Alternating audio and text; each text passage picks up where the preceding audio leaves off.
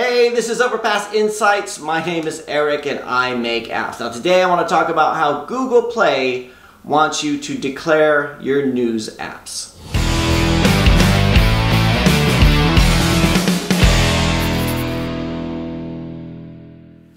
Alright, so every so often Google Play will come out with a new requirement which you have to go through and update your applications on the Play Store. Sometimes you have to actually update the binary, like for GDPR compliance and stuff like that. But a lot of times you just have to go through the Play console and identify things. Like you may remember we had to identify the target audience age, was it last year or the year before? I remember when we had to start identifying whether or not we had ads within our applications. We have, there's lots of things that have kind of come in over the years, which most of the time is not a big deal. You just have to go through and make a declaration through the console uh, and, you know, and it's no big deal unless you have hundreds of applications then it's kind of a hassle but it's just something we have to do. Now there's something that came through in the last couple weeks which I totally missed and uh, Rodrigo Grasso pointed it out to me and I wanted to point it out to you guys in case those of you guys missed it too which is the new requirement to identify whether or not your application is a news application. Now I have no idea why they would need this at this time in the world, right? I have nothing, no idea what could be going on in the world where they need to identify legitimate news sources or anything like that. But you know, whatever.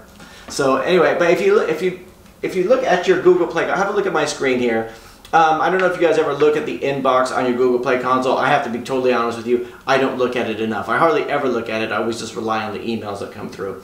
But on November uh, 2nd, we had this one coming in saying, let us know whether your apps are news apps. So um, let, you must let us know whether your apps are news apps or not by 25th of January 2021. So we have a little bit of time. You need to complete this information for all apps in your developer account.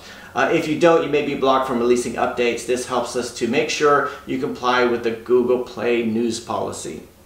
Cool, so um, you just have to go through and make that declaration. For me, that means all my clients, and usually what happens so they're not going to remove the app specifically, at least I don't think so. It looks like what they would end up doing is just if you next time you try to release an update then it'll be like you have to make that declaration. And for my applications and for your applications it's probably fine. For client applications it usually means I have to chase down somebody to get them to make that declaration. Uh, because there's one thing I, I and my clients, it, it, kind of bothers them, but I will not sign terms and conditions and I will not make declarations, right? That's not, that's not my place. That's something that they can do. And they're like, well, can't you just take care of it? It's like, no, I'm not going to make, any, I'm not going to sign anything legally unless, you know, that's your job. That's your account. That's your thing. Anyway, so if you just go here to news apps, you select your applications. Like, I, and I've talked about this before. I've removed lots of apps. I've had apps removed for me, but let's go to, um, Let's go into uh, this one, um, uh, Bengali Spy. So you can see here, it's down in the uh, app content area. So you probably end up, rather than go through the info inbox, you have to go through every app, you know, scroll down into the app content. There's a whole bunch of stuff listed there. Uh, but if you look down, you, do, you will see the one here for um, the news app, and then you start it there. All right, so is it a news app? No.